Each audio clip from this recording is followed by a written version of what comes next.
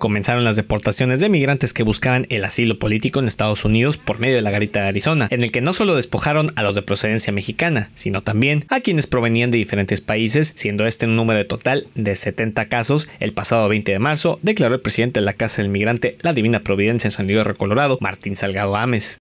Eh, por la contingencia, inclusive hay algunos centroamericanos pues, que están siendo deportados hacia México, ¿verdad? En, lo, que, en lo que dura el, el tiempo de la contingencia para no aglomerar por los centros de detención.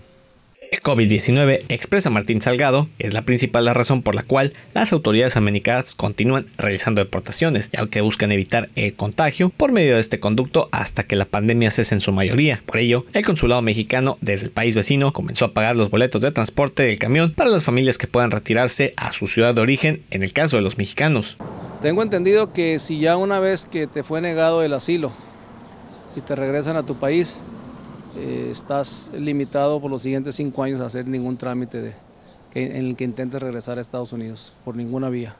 Ante esto, la lista que manejaba la Casa del Migrante para dar turno a quienes buscaban el asilo político ha frenado completamente. Con ello, menciona que antes de la contingencia, dicha lista abarcó a más de 1.500 interesados en espera para pedir el asilo. Sin embargo, actualmente son aproximadamente 1.400 que se encuentran anexados para cruzar. La realidad, finaliza Martín Salgado, es que hasta el momento todo tipo de operación ha cesado completamente, por lo que, hasta que acabe la alerta de la pandemia, esto seguirá de esta forma.